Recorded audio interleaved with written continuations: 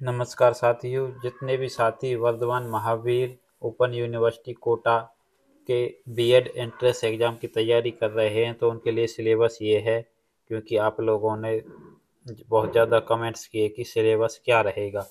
तो इसका जो परीक्षा है इग्नू के एग्ज़ाम से बिल्कुल ही अलग है, क्योंकि इसमें आपको कुल डेढ़ सौ प्रश्न देखने को मिलेंगे।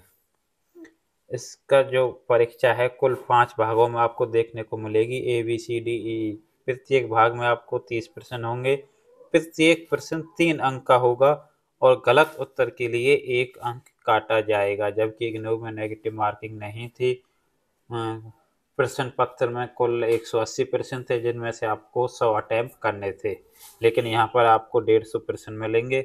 सभी आपको अटैम्प्ट करने होंगे। प्रत्येक प्रश्न तीन अंक का होगा। मेंटल एबिलिटी आपके तीस क्वेश्चन होंगे, नब्बे मार्क्स के।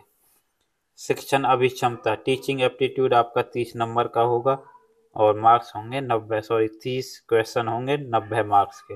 सामान्य ज्ञान के भी तीन, तीस क्वेश्चन होंगे, नब्बे मार्क्स के। हिंद की भाषा के भी तीस क्वेश्चन होंगे, नब्बे मार्क्स के, और अंग्रेज़ी भाषा के भी तीस प्रश्न होंगे।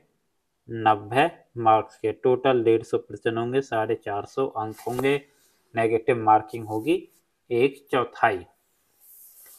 तो ये आपका सिलेबस है, आप इस सिलेबस को ध्यान में रखते हुए तैयारी करें।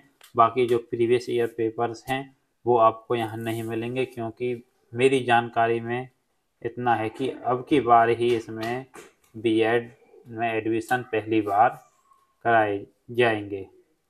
धन्यवाद।